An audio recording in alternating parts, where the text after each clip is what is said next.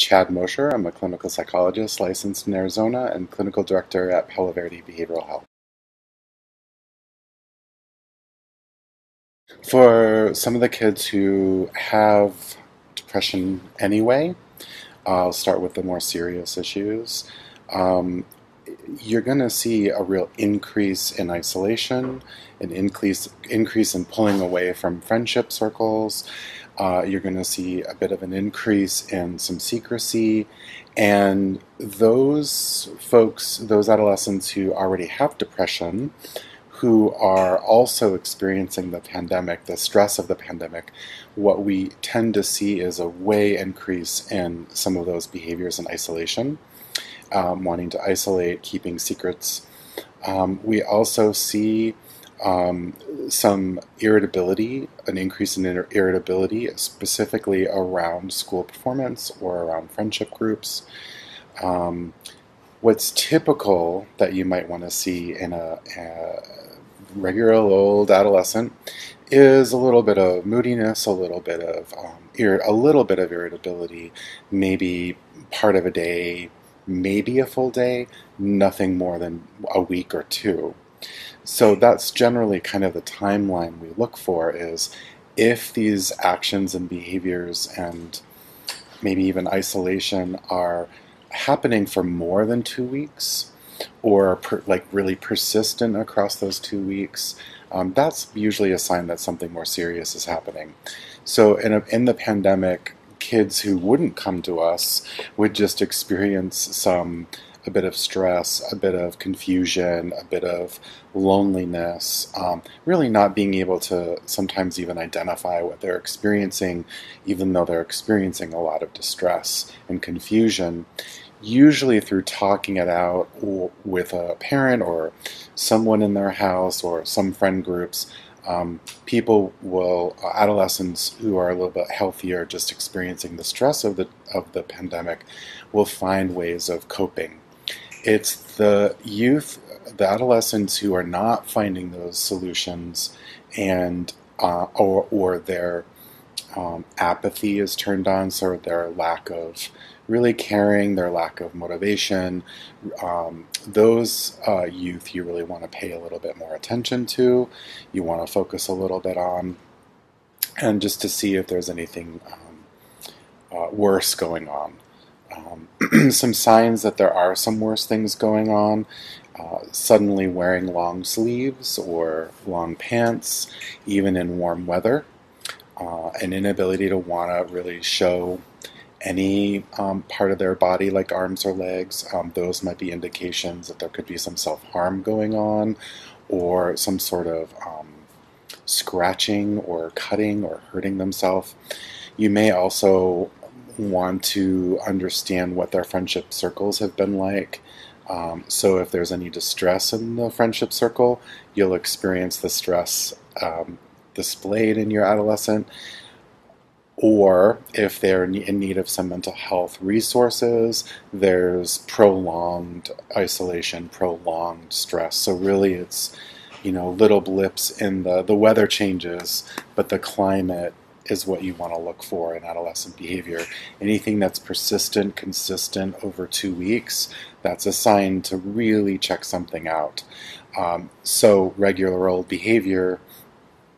Um, your teenager gets in a fight with a friendship group or at school, thinks the teacher hates them, um, thinks all the teachers hate them, thinks their sports coach hates them, maybe that goes away in a day. Maybe that gets changed in two days. Maybe you talk to them and they have other resources in their in their mind that they can use. Someone with a serious mental health condition um, won't be able to bounce back from that, or will hang on to those um, negative thoughts, negative feelings, and not know how to how to get rid of them. Um, other things like um, a little bit of uncleanliness or a little bit of messiness in the room, probably normal. Um, abnormal, any rotting food, any like disgusting things in the room, any unclean clothes, dirty clothes that are just laying about and untaken care of, those are more signs of a little bit more serious dysregulation in their emotion or a little bit more depression. Um, motivation it's typical for adolescents to experience just like fluctuations in motivation. Um, sometimes their motivation seems like they are highly energetic and highly achieving. Uh, and then maybe the next day they're not as much. What you want to look for is is their motivation um, uh, consistent across time? So, really, it's consistency, persistency. Look for that across time. Anything lasting more than two weeks is a danger sign. In a pandemic, absolutely expect irritability. Uh, expect uh, there's a lot of change that is confusing. There's um, uh, sometimes the ability, inability to really um, get out and do things. Um, the monotony, the, the, the difficulty of having to stay home, or the difficulty of being online for most of the day, can really um, create some irritability. And through talking in that irritability or about that irritability with adolescent, they should be able to, to kind of turn it around at some point in the conversation or over a couple days. If that irritability is persistent and that irritability becomes um, defiant, becomes breaking things, becomes irritable to the point of irritating siblings constantly and consistently, to the point of grade slipping, to the point of fighting back with teachers or coaches, that's really when you want to step in and say, What's happening? And through a conversation with yourself and your and your teen, or um, find find another trusted adult that you can talk with with your teen, um, just to kind of make sure that there isn't anything more serious going on. It could be that they just are, are having a bad week, and that bad week turns into a couple or a month. That's probably could be somewhat expected.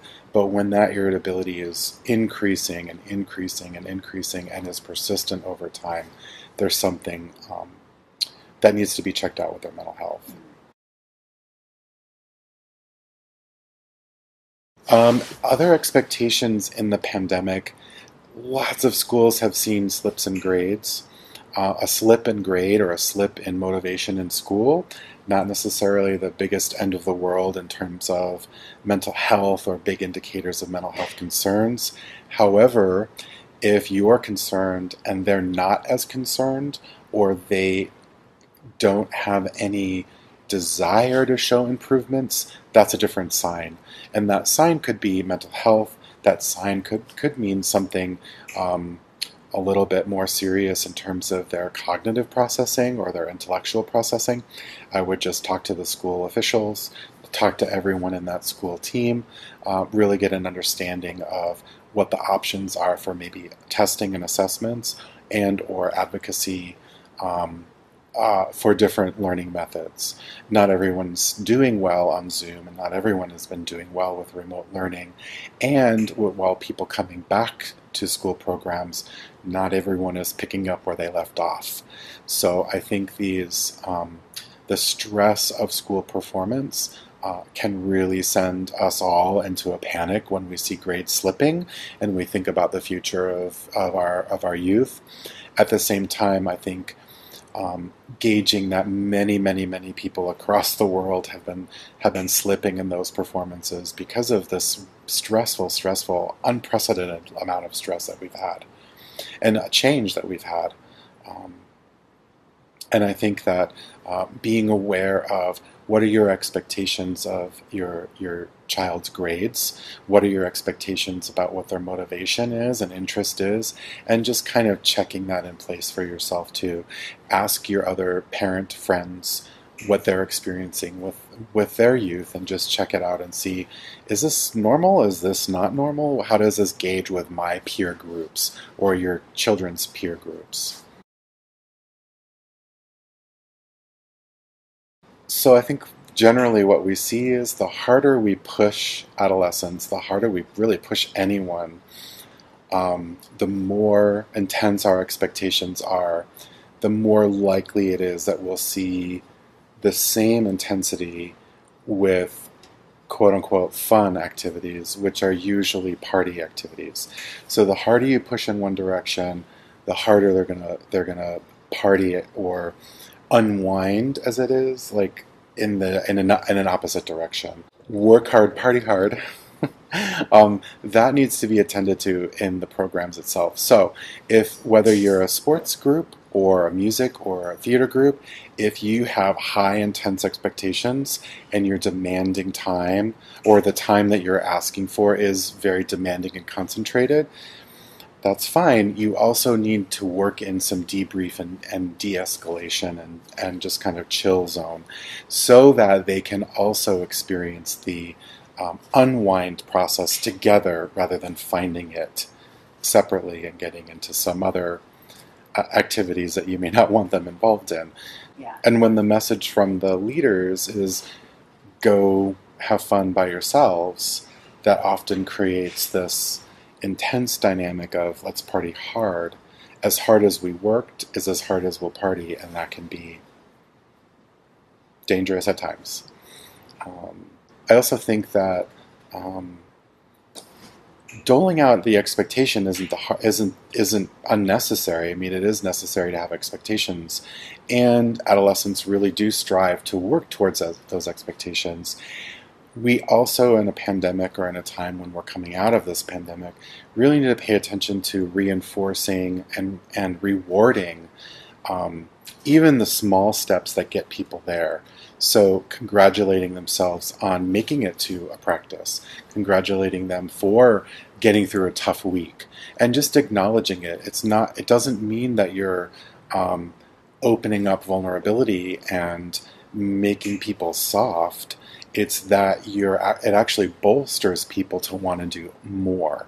So punitive expectations or expectations that have um, no reward system or the reward system is supposed to be we automatically feel good, those don't work as well. Um, we have to have a balance. Particularly for adolescents who struggle with what their motivations are. So, if they are confused about what they um, what they want to do or who they are or what groups they want to belong to, adding the, the, the stress and expectation of high performance success uh, can really be a recipe for disaster for them. And, and that's exactly what we see. We see people becoming highly distressed over external reasons. Um, so I can't make the team, or I might get cut, or I've been injured too much. Those can often lead to um, I'm a failure and I'm I'm not worth anything. And those feelings can really get solidified and create some mental health concerns. Yeah, so some degree of secrecy is okay. I think adolescents are trying to form their identity, and sometimes they don't want adults or parents to necessarily get involved in that. Um, a little bit of embarrassment might be okay, or a little bit of um, dodging uh, dodging direct questions. You probably can expect that. Even a bit of sassiness, a little bit of talking back um, when you're asking questions. Again, a little bit of irritability is is expected in, during this time. What's not okay is if there's really persistent um, types of secrecy, particularly if they're really unwilling to talk about any of their role in what's going on, or if they're not willing to name different friends. The Bark app, um, I've heard, is a really good app to use to, to track and monitor some uh, online activities and discussions, even. Um, I think some parents also feel very comfortable asking for their uh, their teenagers' passwords to their Instagram or Facebook or sometimes even Snap. The challenge in that is as quick as parents can come up with ways of monitoring, there are just as many ways of um, being unmonitored. And so I think adolescents just just making sure that your your adolescent kid is um, you know, you can expect a little squirreliness with that. But I think if they're continuously trying to avoid being monitored, there's probably something very serious going on. We've also seen the interesting um, dynamics with some social or uh, yeah social supports with with adolescents that they do monitor themselves too. So we sometimes in our therapy groups find that um, the youth in the groups will will check in on each other, and if there's something going wrong, they will usually bring it to an adult's attention pretty quickly, maybe our attention even, and then we can we can do something about that. Um, I think the normal, like, I don't want to talk about my dating or I don't want to talk about what's going on, can be fairly normal. I also think that during a pandemic, if they're being secretive about who they're with, that's cause for concern, particularly with so much isolation going on. Again, adolescents are going to find very clever ways of figuring out how to um, get what they want and do what they want. Um, I think the more open conversations you can have with your adolescent, the better. Even if you still think they're somewhat lying or dodging, I think it's still a best practice to really be trying to be open and honest with your adolescent and creating a safe space for them to be able to tell you some hard things to hear. Um, most of the time, um, even with mental health concerns, they really don't want to bring those mental health concerns to the attention of their parents because they feel shame or guilt or are confused themselves about what they're experiencing.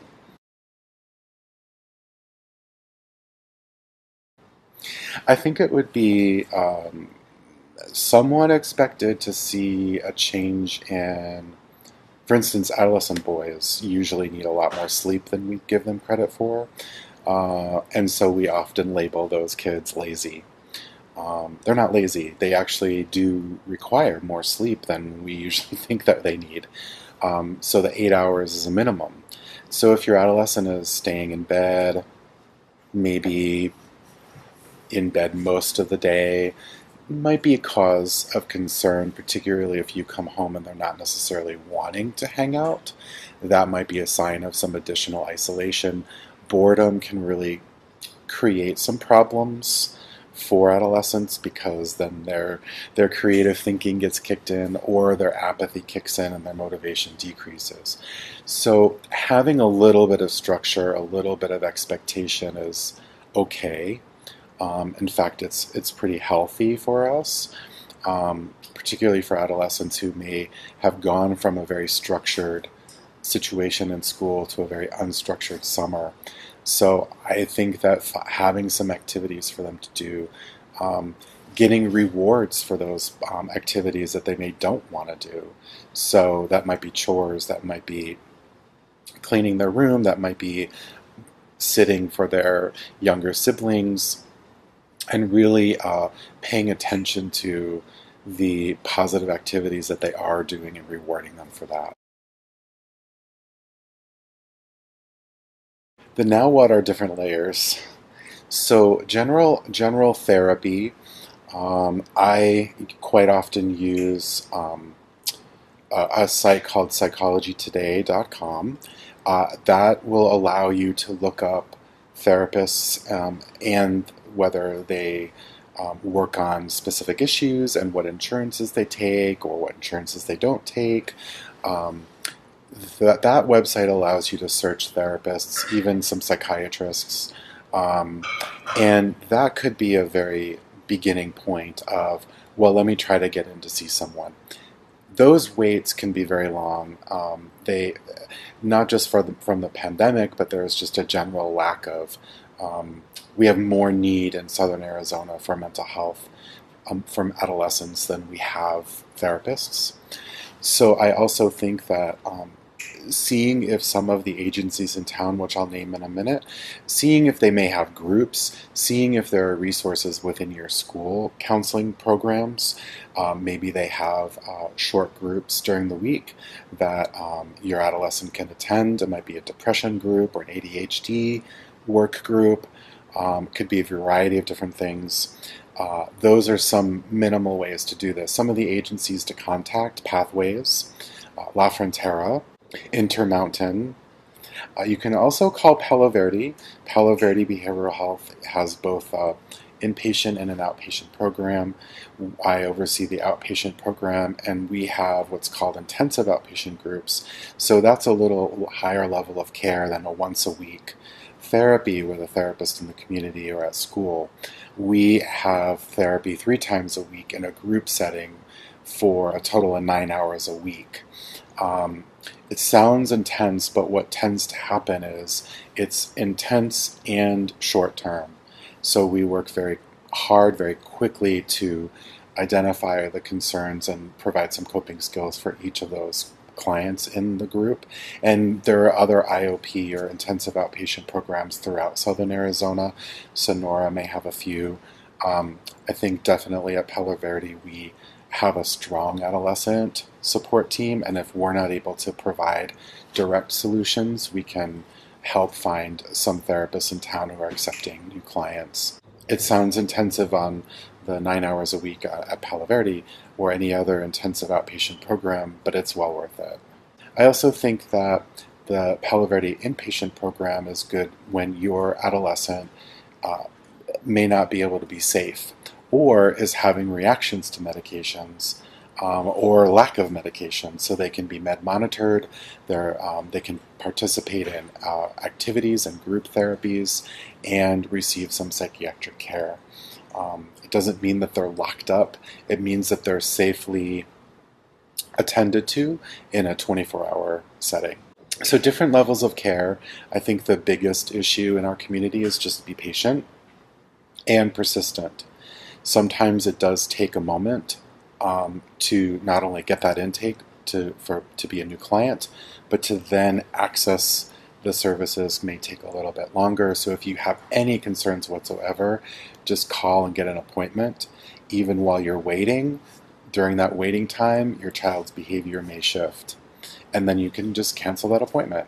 Um, you may also uh, ask to uh, be put on a list to be called if there's any cancellations to get your child in sooner. Um, maybe uh, those concerns um, are very uh, hard for you to understand and you're it's difficult to wait but it really is important to um, continue to monitor your kids mental health the other thing that can happen is you can get support for yourself too if there are things that are absolutely out of your understanding or out of your scope as a parent which is understandable there's no shame to that um, no one gets a manual on how to parent, particularly if your child has any mental health concerns or learning issues or cognitive uh, differences than other than other kids. Um, you may want to go find support for yourself, and that might take a little less time than finding an adolescent therapist. Uh, what we know in the research is that if we as parents are solid, particularly if we need to, to bolster our communication among the adult network systems, um, among the fa- within the family, those communications um, trickle down, and and the the youth will respond positively to those changes. So if you're finding that you're not um, enjoying the wait time and finding a therapist, which is understandable, finding some support for yourself in the meantime can also be a good thing.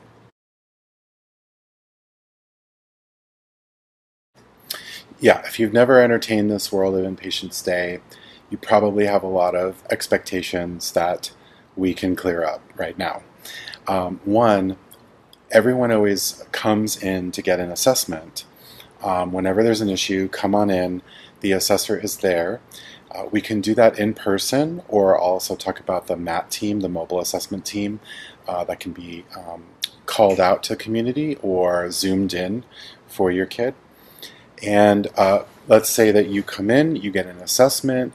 That assessment is going to be looking for whether your adolescent meets criteria for the high level of care. So we are not in the business, and the state of Arizona does not allow anyone to just get involuntarily placed in. There are many exceptions to that, but I want to reassure you that as a parent, you can bring your child in and get them assessed. Those assessors will absolutely determine what the course of action should be, whether they, they meet the criteria to be inpatient or outpatient. If they meet the criteria for inpatient, um, then they talk to you about the admission process. They walk you through those steps as a parent because they want to be able to work with you. And you know your adolescent the best. So that information is going to be really helpful. There's certain clothing that's uh, um, important to keep in mind when your child is inpatient, so they're not going to have access to anything that can harm themselves, uh, or strangulate themselves. They're, they're really restricted in the types of clothing and materials they have during their hospitalization.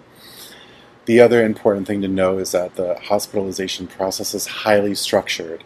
They're not allowed to be in the room for long durations of time unattended. Um, they're monitored every 15 minutes or sometimes less, depending on what the doctor prescribes. But a minimum of every 15 minutes, they're monitored for their levels of activity and engagement, even through the night. Um, they're also um, surrounded by a behavioral health technician team and a nursing team and a social work team and a psychiatric team. They, this team all works with and for your adolescent towards their discharge.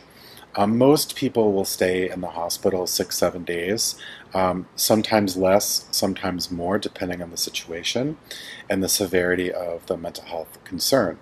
The first priority of the team's inpatient um, work is to stabilize or make that situation safe for the adolescent. So perhaps they are feeling homicidal, suicidal. That's what brought them in. That's what you brought them in for. That one, we want to get that stabilized right away. You also will have a whole other set of eyes um, and monitoring these uh, your your kids, and not just solo, but also um, as they're interacting with other kids. So often. Um, support networks will be formed, peer groups will be formed ish, and there's a bit of reliance on one another, and that's a healthy, that's a, a expected and healthy reaction to being inpatient.